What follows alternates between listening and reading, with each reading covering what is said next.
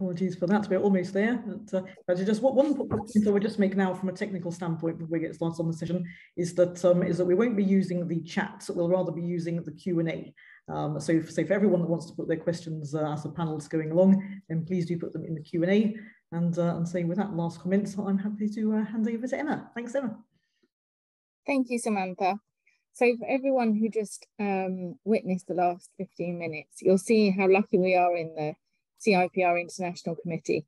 We have uh, public relations practitioners from all corners of the world and all bringing their input in.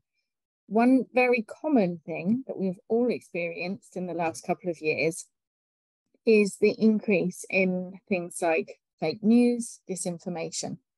We all experienced um, a unique moment, um, not quite unique, historically not so, but with the pandemic, which was actually incredibly unifying.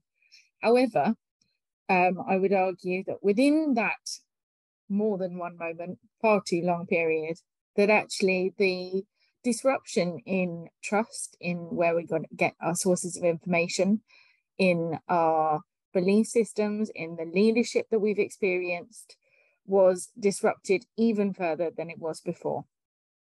I am very lucky to be joined by an incredible panel here today, um, who are going to we're going to have a conversation about PR and the state of truth, and we're going to ask questions such as what is our role in, in PR in, in trying to deal with this situation. We'll we'll get to grips with some of the some of those institutions that have really um, been impacted by that damage and trust and actually what that means for us and for the people who who are actually who we the consumers and the and the context that we're talking to. So I'm going to introduce myself. I should have done that first. My name is Emma Duke. Um, I run my own consultancy, Emma Duke PR, surprisingly enough, and um, I'm a committee member with the CIPR um, International Committee.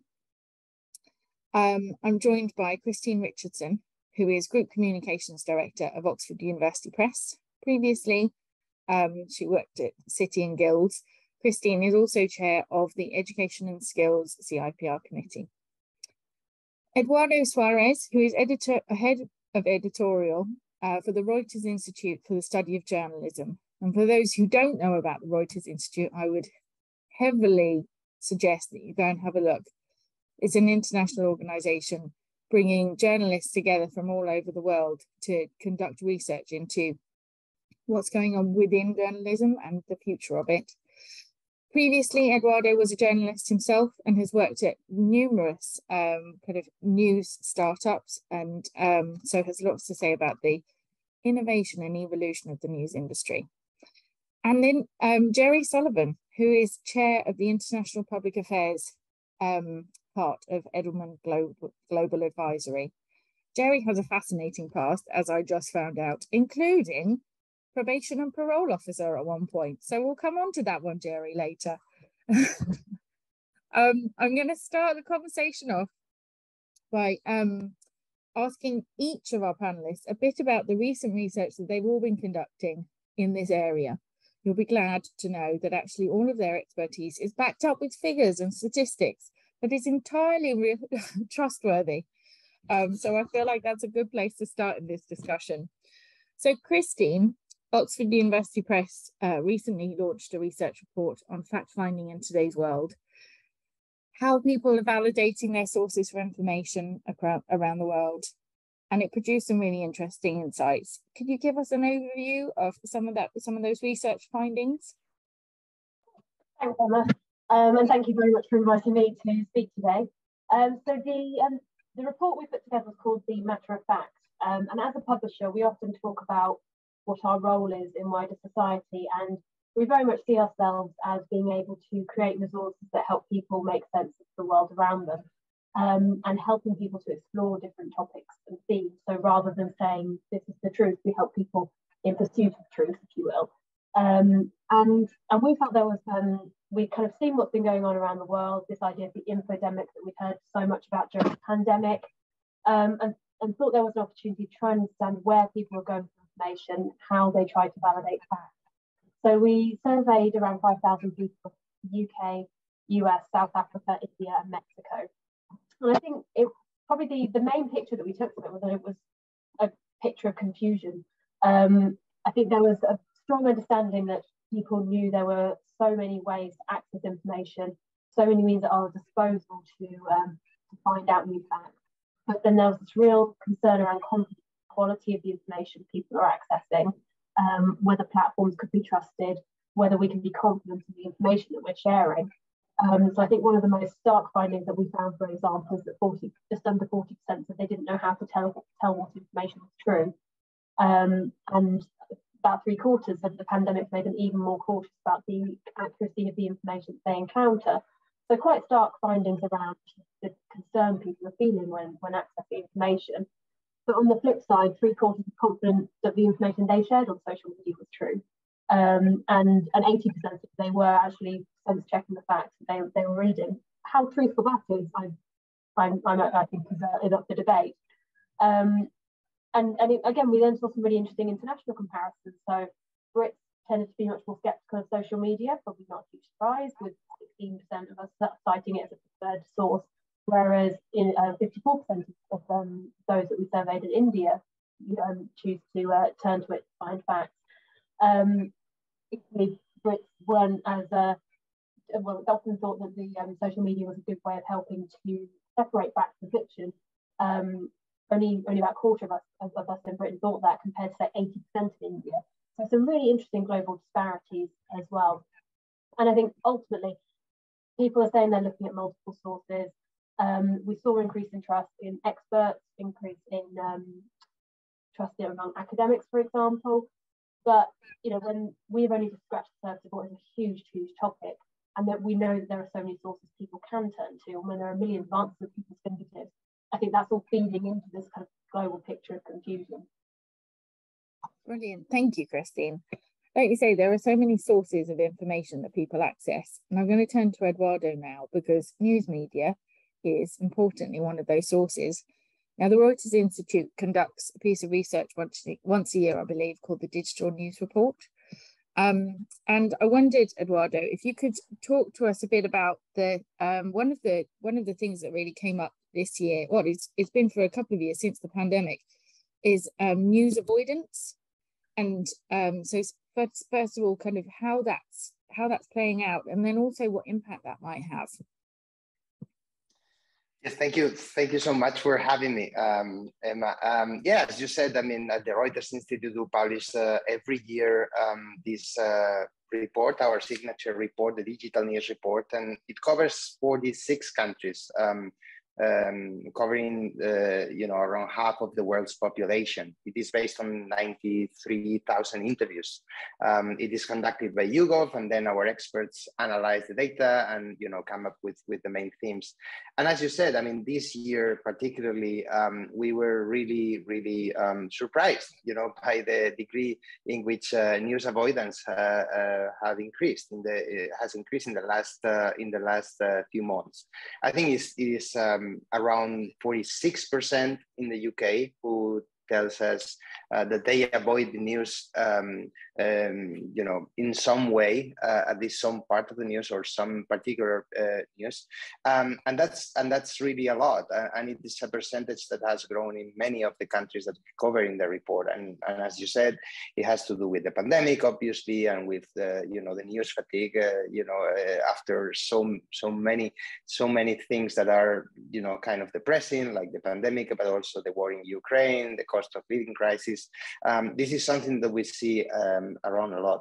Um, the other thing that we saw this year that was uh, also very interesting was that um, uh, interest in news, uh, and especially in political news, has gone down in many countries, including the UK, including Spain, including the US.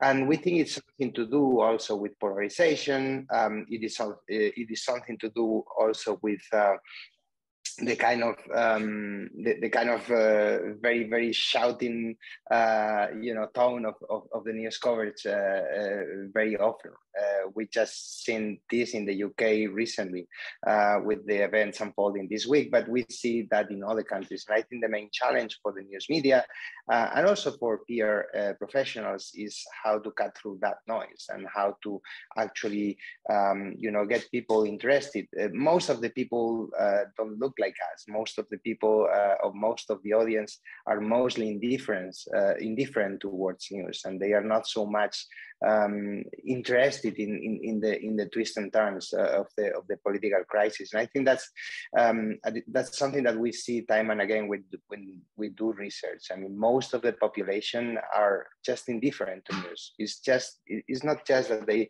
are distrusting or they're just indifferent indifferent and i think that's that's a really a really big challenge um, for journalists and for politicians too um, that people should care about public affairs and it's difficult to get them interested because of all the noise that we see around.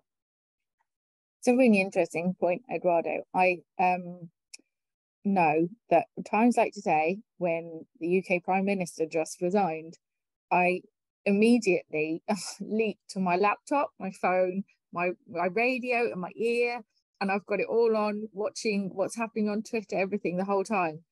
But then on Friday, for example, and again, very UK focused, but the um, Chancellor in the UK was fired effectively.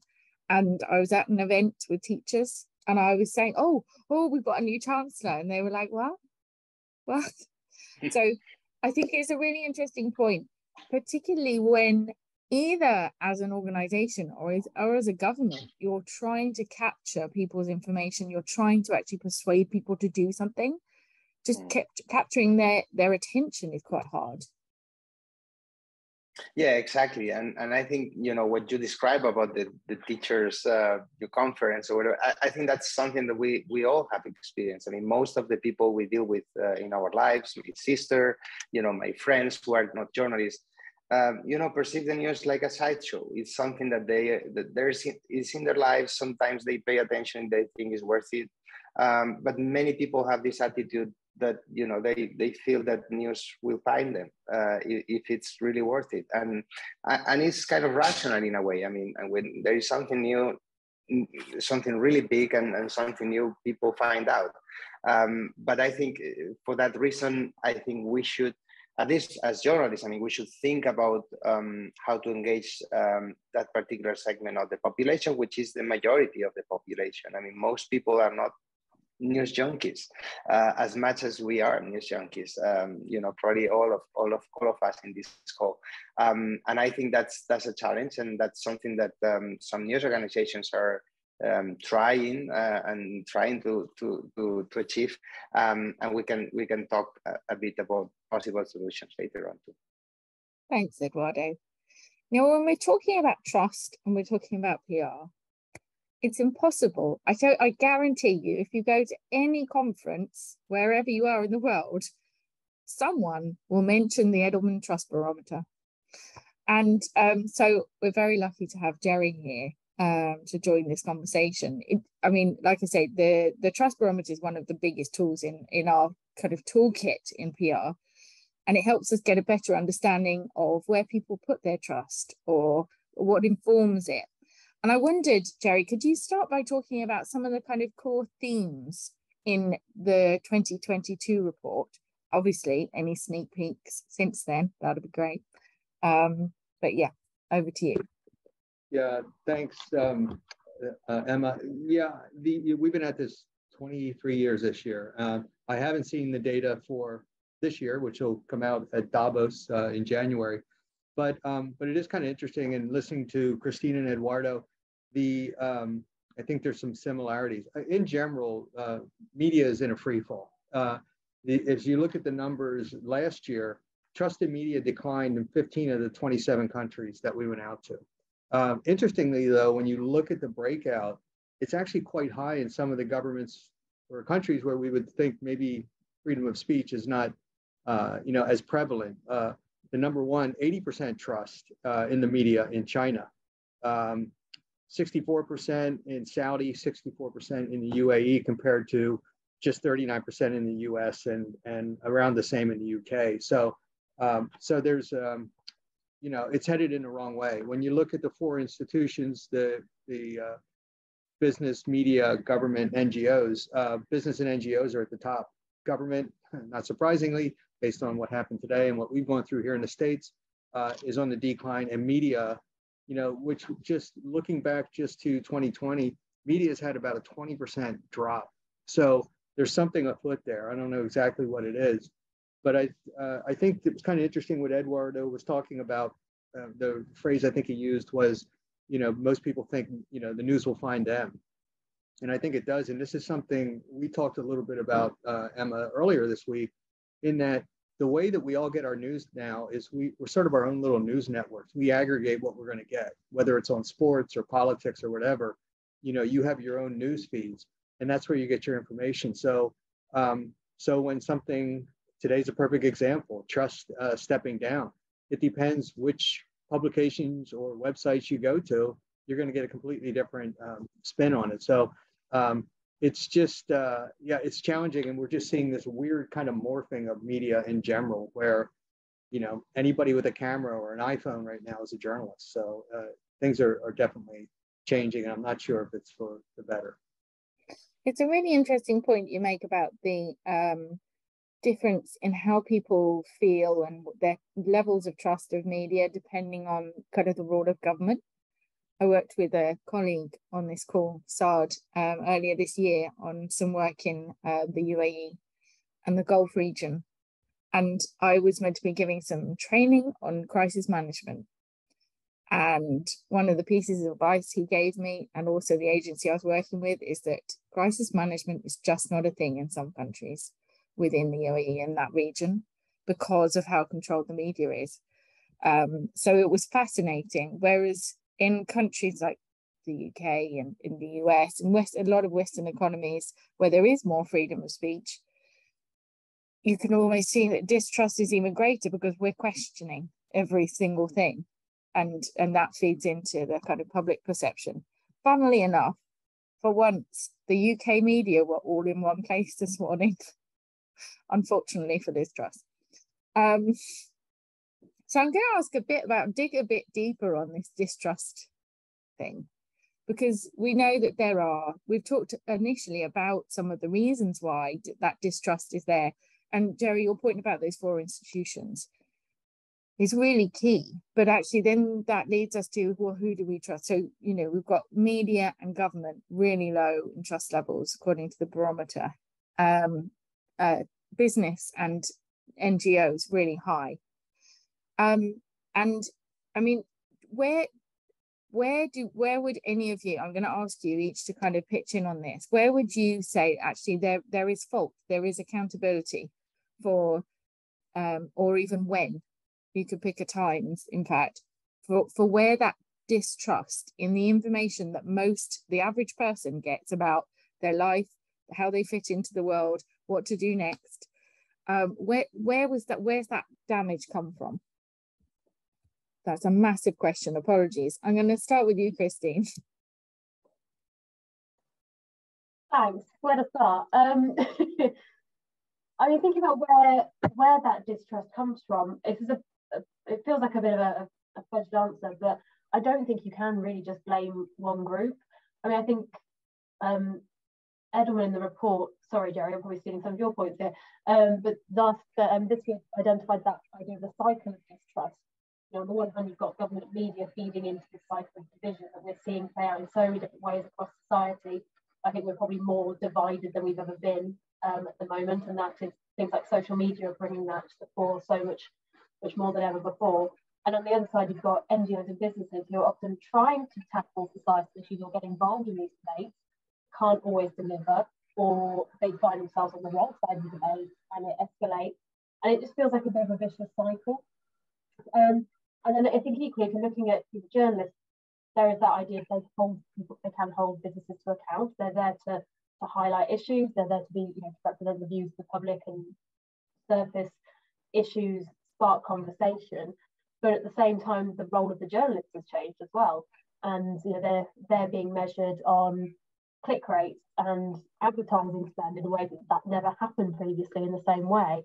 Um, and so we're often seeing things like news stories having real clickbaity headlines. And we've got examples of things like this at OUP when we've put out positive stories and actually the article itself will be really balanced and really well written, but the headline is purely driven, it's pretty purely written, sorry, to drive debate and to to get people to have a moan about something that isn't reflective of the story.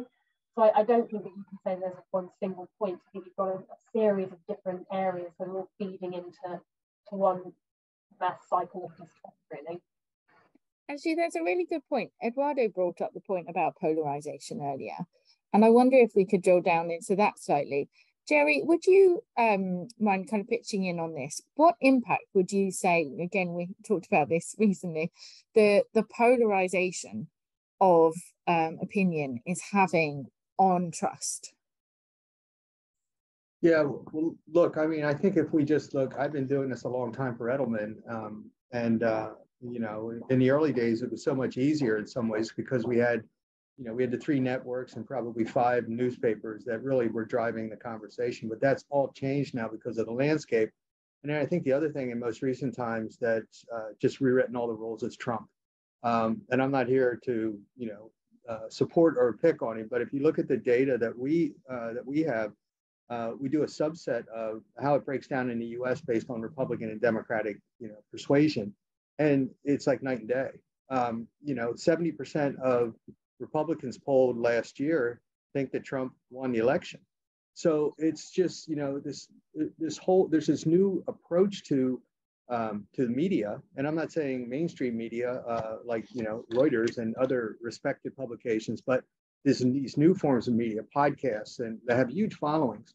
Um, you know, look at uh, Breitbart. You, you know, so you just lean the new the new approach, and you saw a little bit of this even in the UK with Boris, where um, you just lean in on the negatives and it's like you deny it and say that's just not true and the mainstream media will say well of course it's true because here are the facts and it's like no i that that never happened and mm-hmm. the, here in the states um, it's it's really bad to be honest with you i mean on political issues on issues like climate you know uh, on social issues um, you know reform it's so uh, we're just so um, divided uh, and it falls along media lines as well. So, uh, you know, I don't want to be a, you know, a doomsday prophet, but it really is, we haven't, you know, uh, from a political standpoint, uh, we haven't really figured that out. You sort of go to the people um, that are going to support your position.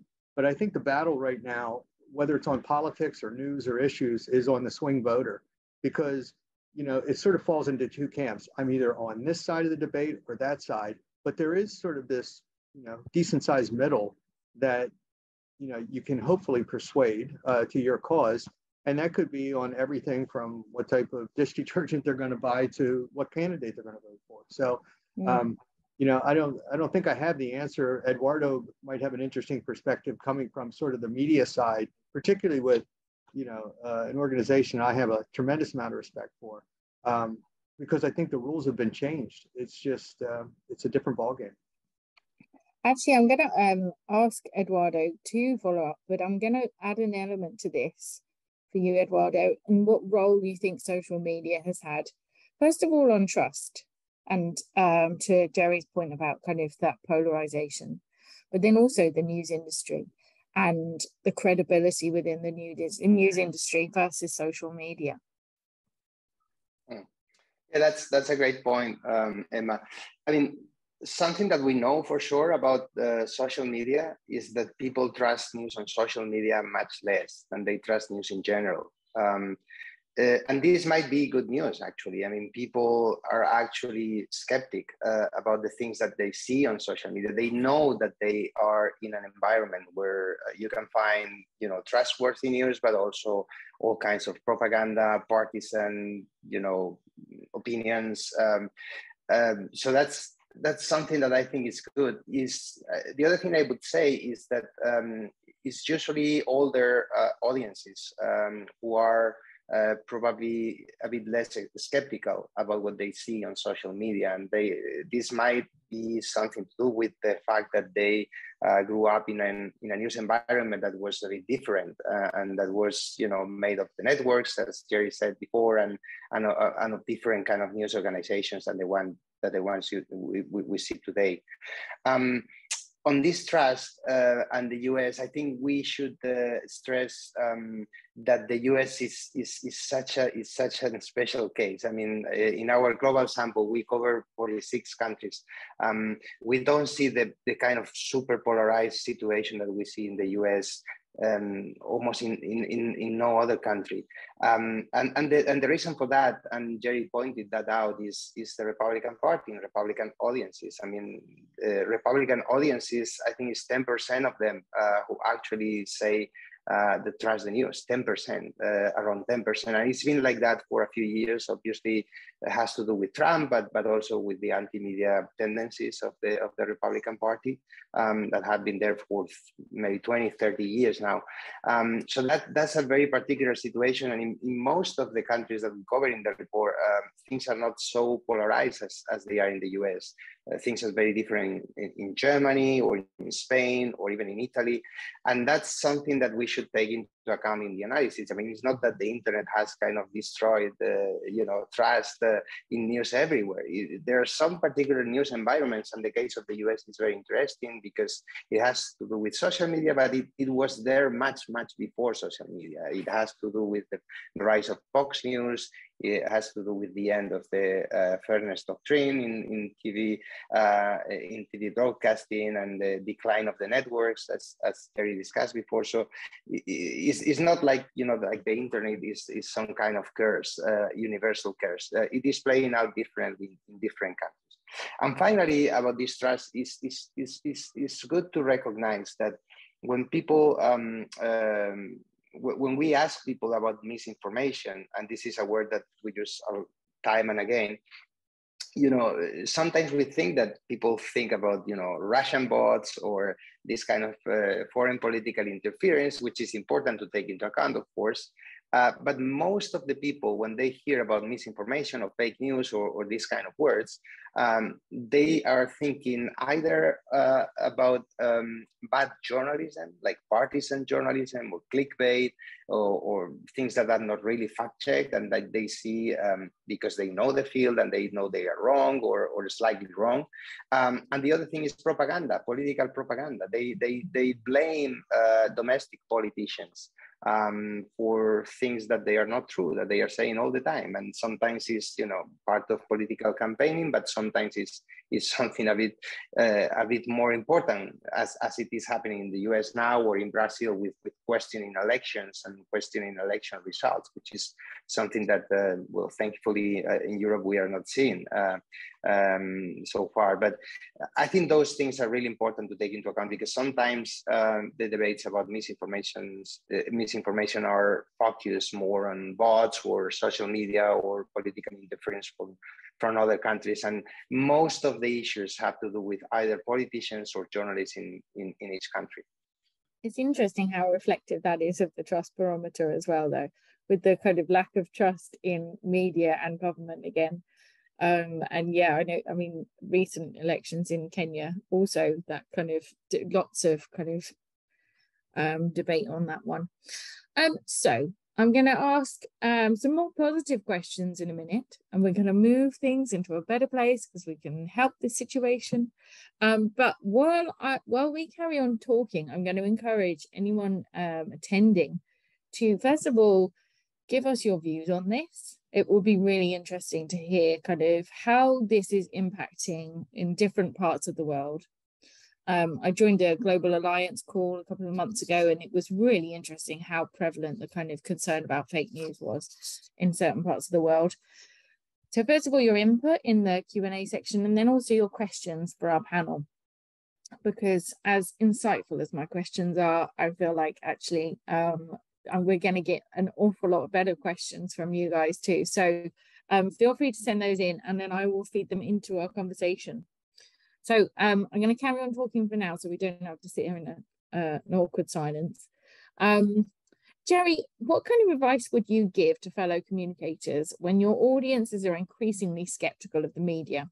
How do we reach our stakeholders, our audiences now? Yeah, well, it's it's it's a good question and um, not always an easy answer. But I, I do think that um, what we're trying to do more and more of is uh, diversification of our you know uh, of our public relations. It used to be, and there's still a bit of this. You know, we would get calls from clients or perspectives, and uh, it was like to help them get in or out of the newspaper. Well, that's all changed as we've just been talking about. So it's kind of interesting because it just um, we're talking about this distrust in social media, which Eduardo brought up, which I agree with. And looking at our data, when we ask people to sort of rate their level of trust in various um, channels, uh, social media only had 37% uh, trust, uh, and it was down 8% year on year. Owned media, traditional media, was at 43%, or I'm sorry, 57%. Owned media, which is websites and whatnot, 43. But the number one was search engines. Uh, so it's kind of interesting. And we, you know, of course, we're using a lot of, um, you know, uh, digital and everything we do now. But I think it's trying to find a unified approach that's using all the channels available. Um, and whether it's using, you know, uh, you know, uh, paid media, uh, as, as we're seeing, it's all morphing so much. It's hard to, if you look at COP27, which is coming up, um, there, you have the actual program where all of the, you know, the uh, people, the, the decision makers will be together debating climate. But then you have this entire media zone where you have New York Times, Financial Times, running these huge events on the side, kind of doing what we used to, well, we still do, but kind of doing what we do. So uh, it's, uh, it's kind of interesting how we're seeing this, you know, sort of cross pollination. So I guess my big, going back to your question, it would be just, I think you have to use multiple channels um, because if I only hear it in the news, if I hear it once in the news, I'm not going to believe it. We know from trust, it's like three to you have to hear it three to five times, you know, for it to sort of break through and to be trustworthy. Um, and it's got to be from different sources. So if you're a New York Times reader and there's five articles about an issue, that's not going to do it alone. You know, you got to be, you got to see it in the New York Times. You got to see it on BBC. You know, you got to hear it on the radio uh, when you're, you know, uh, when you're, you know, clicking through your social media, you got to be hit with it. So it's really trying to figure out how's that, how to amplify through this sort of surround sound mechanism. Uh, and that's what we're doing more and more of. And, you know, by adding different capabilities, you know, digital is like huge for us now. It is for every one of the major uh, PR firms. It's such a big part. And um, and just one last point: if you look at politics, um, and we're in the middle of you know midterm elections here in Washington. So I mean the ads are just incredible.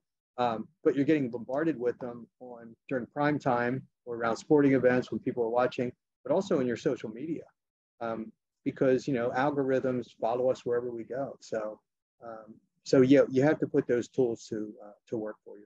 That's what we're doing anyway. Thanks, Jere. Um, now I'm going to flip this question slightly um, and move to Christine. Um, Mabel has very helpfully asked a well-timed question because there is an important, mm, uh, I feel like it's important to acknowledge the role of PR in distrust as well. Like if we think about the fact that we're always biased to an extent in the interest of our clients or our companies that we work for. Um, and while as the Chartered Institute of Public Relations, we are all signed up to our code of conduct and we are all working ethically. There's a really important acknowledgement if we are trying to build trust in society of, of actually where our interests lie. Mabel's really added to this about how do you uh, maintain those standards um, if you're, for example, a PR agency or a PR running a political campaign how how do we restore trust as PR or PR people in in this world where actually we're we're automatically biased? It's such an interesting question, and it's not helped because PR itself, as an industry, doesn't have the best of reputations. Um, traditionally, there's often been associated with telling the truth or trying to put a positive shine on bad news um, or always toeing a very much a kind of company corporate line. Um, and that is something that we're going to battle against. Um, ultimately, we we are a little bit at that part of the cycle of mistrust because often we are being encouraged to push messages um, that stories that may to make them seem better than they might be. Um, and we've all seen examples in the media companies being called out for greenwashing, for example. Um, and equally, we're also there to help protect companies when things go wrong and help protect the reputation and minimise the risk. So we are in a difficult place um, because ultimately we do have to represent our organisation. But I think that's that's where actually PR has a really valuable role to play in making sure it's seen as a true strategic partner, um, one that is working with leadership that understands our audiences, understands what they are looking for, what they respect, and what they value in an organisation, um, understanding where where we can add value to those audiences and where we what how, how we're helping to address their concerns, their needs, um, and be able to influence our leaders in that regard, to be able to advise them properly not pushing stories when it's not needed or um, making sure that we're coming like organisations come across as authentic. And I think authenticity is something that's becoming an even bigger trend. And we see that time and time again, the leaders who who stand up and stand out, the people who are seen as authentic, who aren't seen to be um, having a separate agenda or, or, um, or spinning the truth. And that can be quite challenging for some of our leaders. Um, and, and it can take a bit of work, but being authentic, being authentic to what your organisation stands for as well, not trying to be something you're not, I think is going to be really, really important. And how that plays out in the different channels as well, exactly Jere's earlier point. I think we all know how it feels to be that PR standing opposite a leader, asking whether something really is true um, or actually um, legitimate in order to, to say. Um, but I think your point about kind of speaking truth to power is really important here.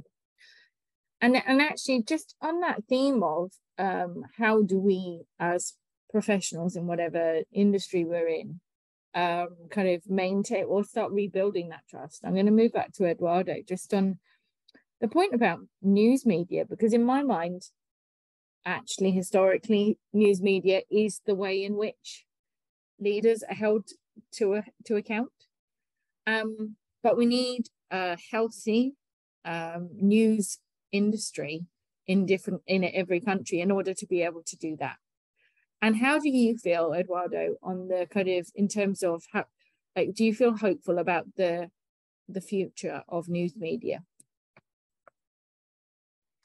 Um, I do, uh, but I agree with you that it's a challenging time, um, and it's been challenging for a while. And you know, the problem for journalists is disintermediation, the, this phenomenon that we see everywhere, where you know both politicians and you know and business uh, people can speak to their audiences or to their customers directly uh, without you know any any challenge uh, from journalists. Um, you know, many politicians can you know can uh, uh, get to power without you know having to face any any challenging interviews. Uh, we've seen that in the UK in the last uh, Conservative election, but but we see that in Spain too, um, where I'm from, and where the Prime Minister only gives interviews to very friendly journalists. Uh, in this case, left-wing journalists. So so this is something that we see across the across the world. I mean, the ability uh, of journalists to challenge uh, people in power is kind of diminishing. Um, however, um, you know, journalists still have uh, that ability um, through different tools. I mean, and we see investigations uh, in many countries, uh, you know, throwing down, you know, prime ministers or or or or, or people in government. Um, uh, it happened, for example, in Spain a few years ago when uh, where you know, a politician, a very high profile politician in the Conservative Party had faked a master's degree and she had to resign because of a um, journalistic investigation. And we've seen that uh, throughout the Trump years too in the US. And it's true that, you know, it didn't it didn't bring uh, Trump down, but but at the same time, you know, marginally it ha- it might have had uh, some influence in the fact that he lost the election um, and, and, he lost uh, fair and square. So, you know, I think still um, journalists still have that kind of ability. Um, however, obviously, it's not just journalists, and we've seen the UK in the last few days how you know other independent institutions have a role to play in that, and we saw that with the Bank of England and with you know the uh, you know Office for Budget Responsibility how all that played out at the same time, and also in the US where checks and balances balances are also important. So it's journalism is not operating in a vacuum. Obviously, you know it operates in, in as as one of the checks to political power and, and to and to company the power of, com- of big companies too. Uh, but there are also other you know actors that I think they're still working at least in some in some in some countries. Uh, but it definitely has made things very very difficult. I mean, the internet, the rise of social media, the fact that politicians can speak uh, directly to their voters, um, that is something that had made things um, much more difficult for us, of course. Definitely. And um, actually, it's a slightly different point here, but Samantha has asked a question about what impact um, the pandemic had on trust. And I'm going to go to Jere for that one. That's all right with you. Well, it's kind of interesting, you know, um, in terms of the institution, you know, anytime, you know, in general, um, polling going back to the early 1900s, if you ask people about politicians, is there the answer is throw the bums out. You know, nobody. Unless sometimes it's you know it changes a little bit if it's about your politician, but in general, politicians are not trusted unless there's a crisis. And we saw this during. If we look, go back and look at the data. Um, we see an incredible rise in trust around 9/11 during during the um, you know the economic crisis that we had uh, and then again on COVID, because I think in general it's like you know government is uh, you know it's a nuisance, it's ugly. We don't we nobody likes government um, unless there's a problem, and then it's like call government. Um, you know, look at the banks. I mean, nobody loves government more than the banks. They hate to be regulated until there's a an economic free fall and they need bailed out. So, um, but in general, that's what we saw uh, happen. The um, but then going back to a little bit what Eduardo was just talking about, uh, at least in the states, my gosh, when you talked about COVID in particular, the the machines churning on both sides about you know you had you know the uh, CDC and uh, you know the health HHS coming out saying get vaccinated. You know this helps to uh, uh, you know it may not prevent it, but it's going to it's going to definitely re- reduce mortality uh, rates with all kind of data to back it up and wear a mask, you know, things like that. There was a whole other side, half the country that was like, I mean, it was would get violent where people were like, you know, you would be literally, um, and it's happened to me personally. You during the times when we were wearing masks, people would be like, you know, yelling at you in the supermarket, you know, uh, and uh, so it was kind of interesting there because so much of that was driven by media and social media. You know, if you look at the during COVID, if you looked at the reporting that was going on in mainstream media and looked at, you know, CNN, the networks, et cetera, and then looked at Fox, complete, it was night and day. It was night and day uh, in terms of, you know, there was facts over here. And some of that, this goes back to leadership, you know, was that the people in government where you have the commander in chief saying, you know, this, this may not be that bad, you know, uh, don't wear a mask, you know, actually during debates uh, or before the debates, like making fun of Biden before he was he wore a mask. So all of these things, you know, we saw play out during the crises. Um, you know, in general, though, the because we the other thing we look at is spokespeople. Uh, say this point and then shut up. And over the history of trust, when you ask about who are the most trusted spokespeople, it tends to be people with more technical backgrounds, engineers, you know, uh, you know, technology experts, uh, doctors and nurses. And we saw that rise during COVID as well, you know, uh, particularly in the health community. So the people you trust, it was like, you know, but one last point, when you looked at that based on, um, you know, political breakdown, the difference between Republicans and Democrats was incredible, you know, and I'm not picking on the Republicans, so I'm an independent, but it's, it is the data. So uh, nonetheless, uh, yeah, it definitely, COVID had a, an impact and the next crisis, whatever that might be, you'll see the same thing happen it's really interesting that point about the experts because I remember during the Brexit vote as well, there was this um, narrative that was actively against the kind of the experts who were all saying, if you leave the EU, life will be more challenging economically. But yeah, it's it's it's fascinating the way kind of that trust in experts works as long as they're saying what you want them to say. um, now, Andreas and uh, Mabel are asking a similar question. I'm going to try and articulate that in a, in a in a reasonable way. I'm going to come to you, Christine, on the answer to this one first, if that's all right.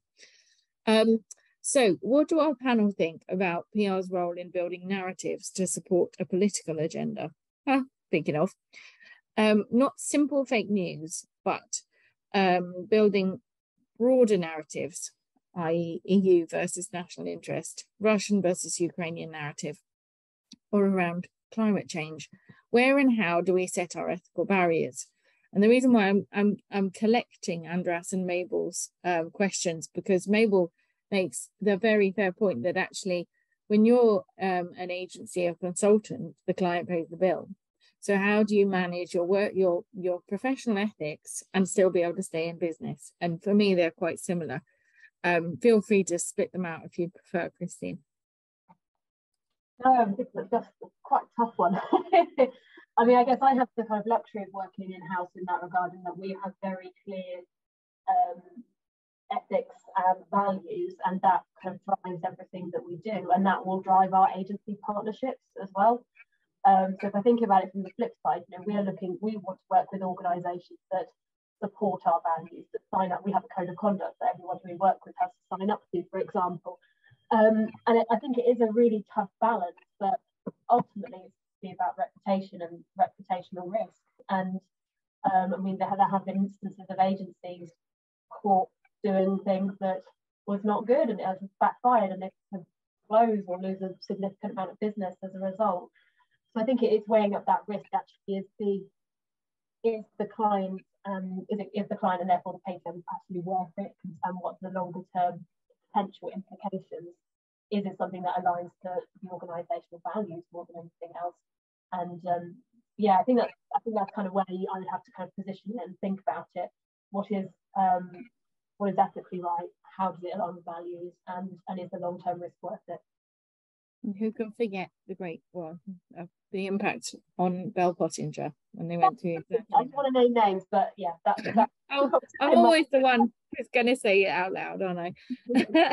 I'm going to move over to Jere on this one as well actually because um I think I feel like that might resonate um with you. Edelman must have to play that game to an extent um in various ways. Yeah and I think I kind of go to what was Christine was saying, you know, you have to look at the end of the day what's, you know, what you think is ethically right or wrong.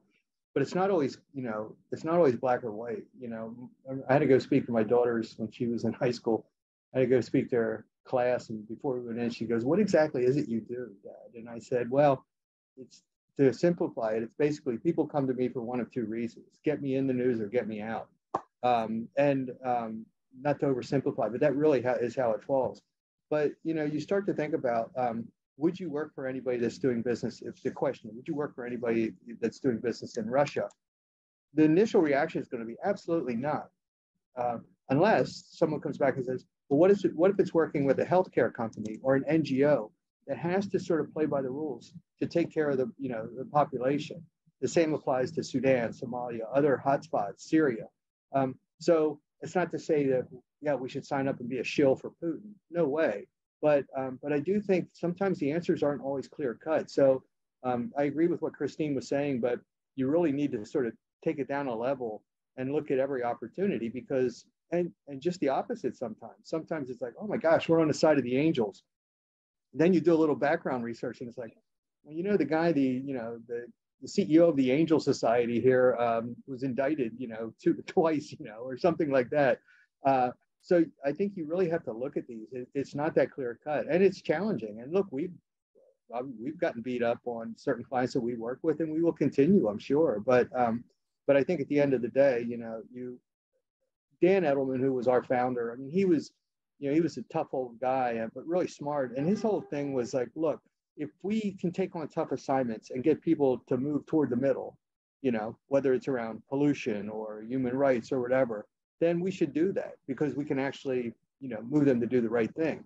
Now, sometimes you go into those and you're like, and they're like, absolutely. And then uh, two months in, they're not moving anywhere. And that's when you have to, you know, we've done this, you have to cut ties. Um, so, mm. but it's, it's not easy. It's not clear cut by any stretch. Indeed. I should add actually that the CIPR does have a really useful document with about doing some due diligence on the clients you're about to sign up with.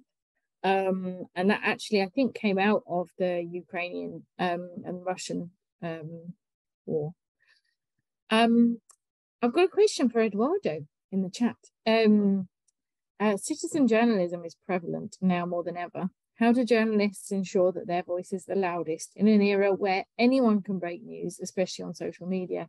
How do journalists reclaim their authority as news providers?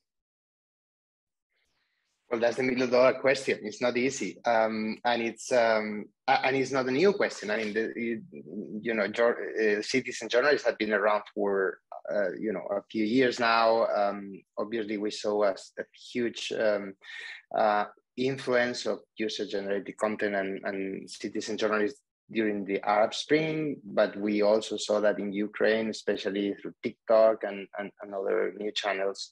Um, it's changed a bit, uh, but I, I would stress that actually journalism and traditional uh, journalistic outlets are still pretty dominant um, in terms of uh, um, shaping the public conversation. Um, uh, television, for example, that's something that we have seen during the pandemic, uh, uh, you know, suddenly became really, really important, especially during lockdown, lockdowns when, you know, everyone basically watched the news and, and watched those speeches from prime ministers and presidents about what what was next.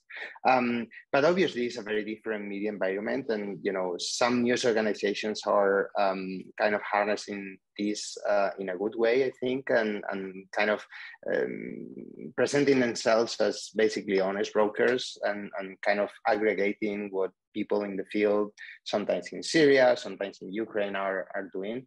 And I think that's the role that we need to play. I mean, obviously, this is a different world, and you can receive videos or see videos on social media about something, uh, you know, a, a, Putin strike on, you know, Kramatorsk in, in, in, in Ukraine, and suddenly you have videos from the ground that are not made by professional journalists. But there is a whole field right now in newsrooms and a whole, uh, whole desks. Um, uh, whose mission is actually verify these videos and try to talk to the people who made them and pay them, obviously. And uh, so this is something that I think right now, um, uh, at least in some newsroom, uh, is working really well. Um, and it's a bit the same with you know other challenges that we have as journalists, like artificial intelligence, for example, or, or other things. Obviously, technology is is double edged, is a double edged sword, and sometimes it makes things more difficult for journalists, but at the same time gives us, uh, you know, many new tools. And if you use them uh, wisely, you can do better journalism and reach, uh, you know, a, a, a, bigger audience than, than we did mm. before. Yeah, and my experience is that generally the journalists are the one who then reshare the social media content, but that's how people access it. So yeah, there's a partnership there, I think. Um, I've got a question for Jere from SARD, um, who is another one of our committee members. Um, how can the governments, how can governments rebalance the power of media of the media landscape? And just to give a bit more context on that one, before the social media era, governments were had more control of the information flow through to through the news wires, mainstream media. Um, but what does the future look like on that one? and that's it's an interesting angle on your point about kind of where uh, media is more or less kind of controlled by governments as well yeah well it's it's an interesting point um, because um, you know the it used to be in some of the more totalitarian governments um, i mean i'm older than most folks on this call but I, I i remember the cold war and i remember you know hell brezhnev died about five times you know i mean it was like you know every month it's like Brezhnev's dead, and then you'd see him waving to people the next day, because you know there was really no way to break through the barrier of um, you know with media uh, in those, those, states like that. Um, so that's the good thing, you know, the, and the good thing is we can now break through that and um, and keep government accountable and you know spread the truth in certain um, certain governments that aren't uh, that are a bit more dictatorial. Um, so that's the good side. The, the, challenging side is kind of what Eduardo just uh, tapped into is data, um, because we're just seeing. I just think you're going to see as we go forward, uh, the media landscape is going to be driven more and more by cognitive data, you know, analytics, um, and that's where it does. Frankly, it gets a little 1984ish and a little scary because it's like um, even if we have the respected news organizations, um, if you can drive data through analytics, and now I mean, think we're all, you know, we're all subject to it. Whether it's you know, we look at a pair of trainers, and the next thing you know, you're getting ads popping up everywhere about the new Nikes, and it's like, how the hell did they know that? You know, on my phone, and so you start to think about how analytics are playing a role, and um, and then who's overseeing that data? you know, this is a big, we do a lot of work in this tech space and working with, you know, future cities and cognitive cities. That's one of the first questions that we get hit with by every journalist. Who's going to, who's going to oversee that data and what governance rules are you going to do, are you going to follow to, uh, to address that data? Uh, so this is, government's going to play a big part going forward. And, um, you know, it, it's a, you know, it's a double-edged sword because uh, if you're on the government side and you say we need to regulate more, people are going to be saying you're trying to control our free speech.